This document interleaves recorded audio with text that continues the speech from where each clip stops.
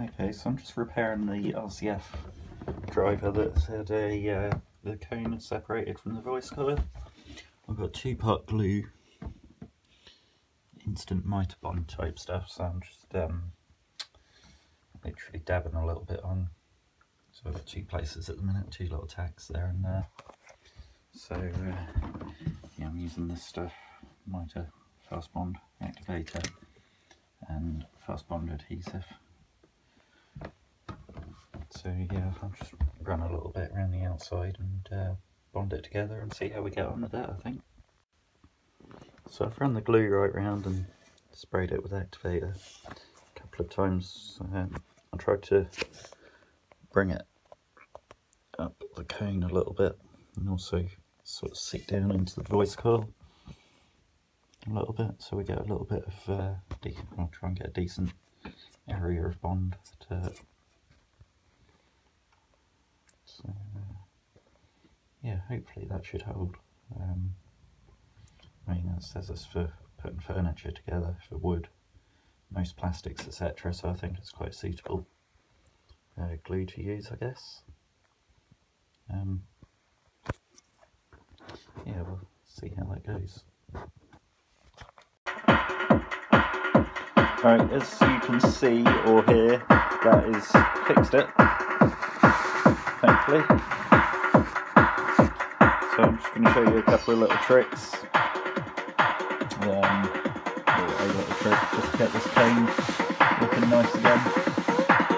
Um, you can use boot polish, but this is um, fireplace polish,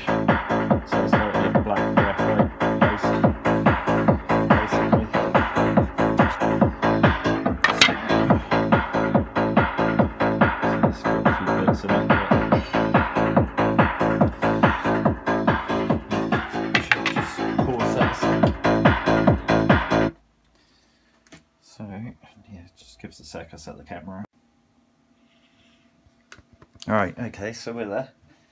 So yeah, um, basically you want to get yourself a little cloth, maybe a little brush with dirt, dust in. So like I say, this is a black paste that I've got here. And actually a little brush might do that better. Um, I think what I'm going to do is I'm going to stick this um, dust cap back in the hole and then we can uh, not worry about the dust down there. So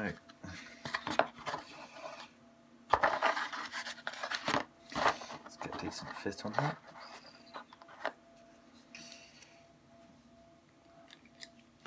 Let's see. Let's see what's the best way.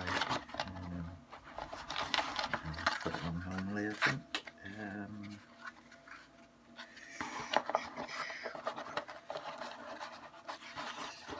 it.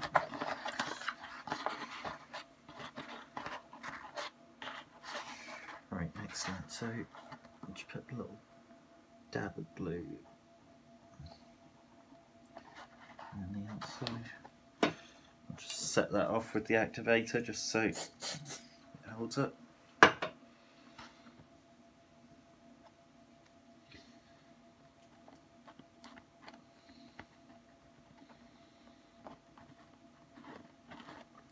Press it into a bit, into it a bit, just so it grips it. Alright, just one bit.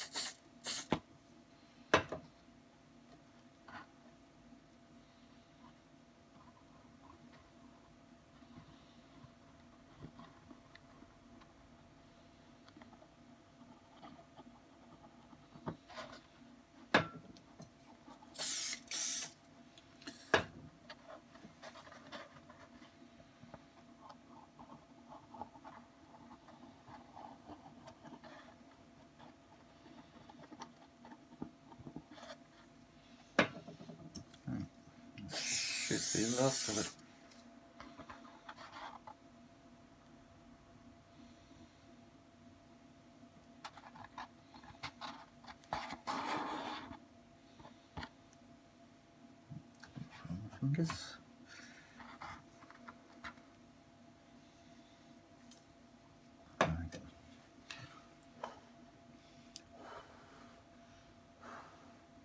That's very satisfying. So yeah, I was saying you basically uh, get a little cloth and some black boot polish. And you can just bring the colour of the cone back.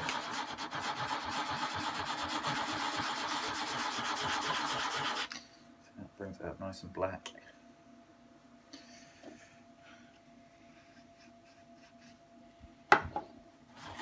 Probably offer it a little bit of uh, protection as well, I guess. Nice and dinky little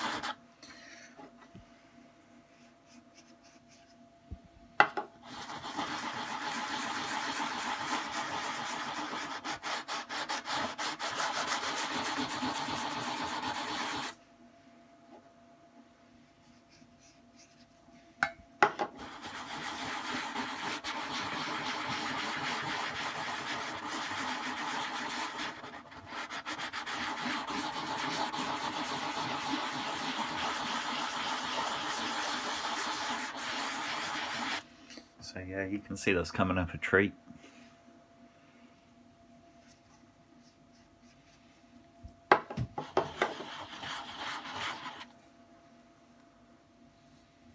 Just turn that amp off that's buzzing away there.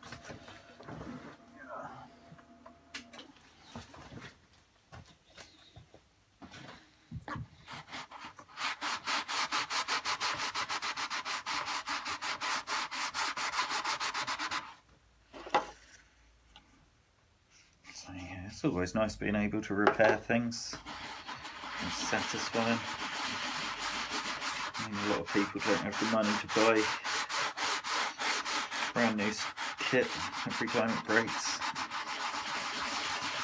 So I'm very much one for not spending a lot of money on this stuff. You know, get the good gear in the first place, but uh,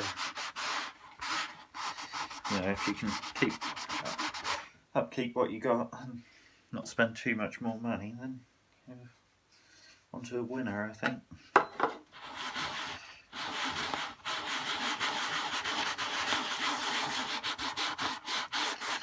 That's coming up lovely.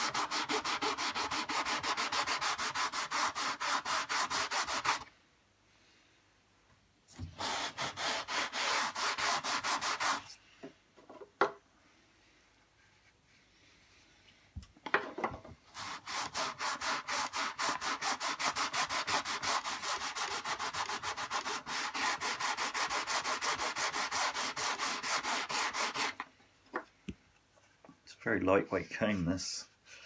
Some of them get really thick, and uh, it's good for holding sound pressure in uh, scoops, in uh, folded horns even, where you got a very tight, small amount of air.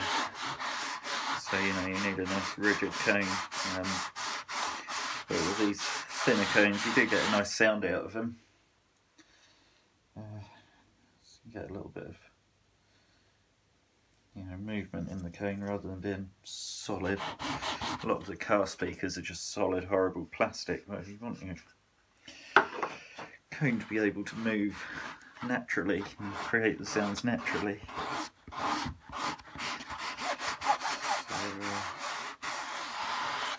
yeah, it's a very fine balance. I expect the uh, speaker companies are doing all sorts of testing all the time on that, but it's a very vast subject with a lot to learn about. I spent a lot of years reading up on it. Forgotten a lot these days, but uh, you know, still a lot to learn.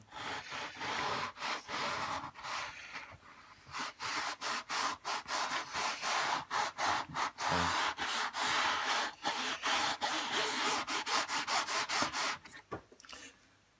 So yeah, Let's see how nice and black that's come off. I should have done that dust, dust cap before I glued it in really, but never mind.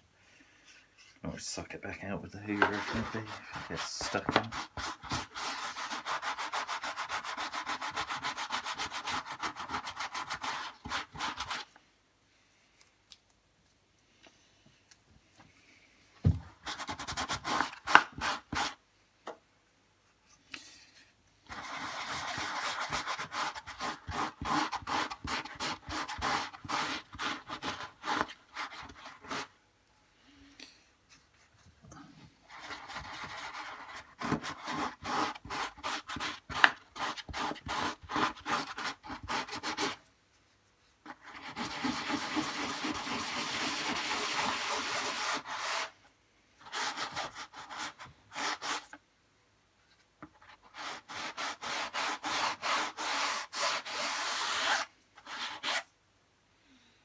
Yeah, I think that's pretty good. Right, so I'll just suck that dust back out using the hoover. Reach on that. See how easy that is.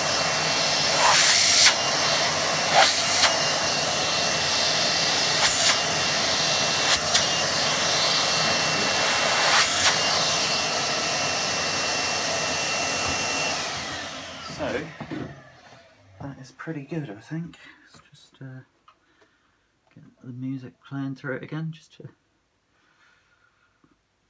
finish up. Right, play on that, turn the old amplifier back on.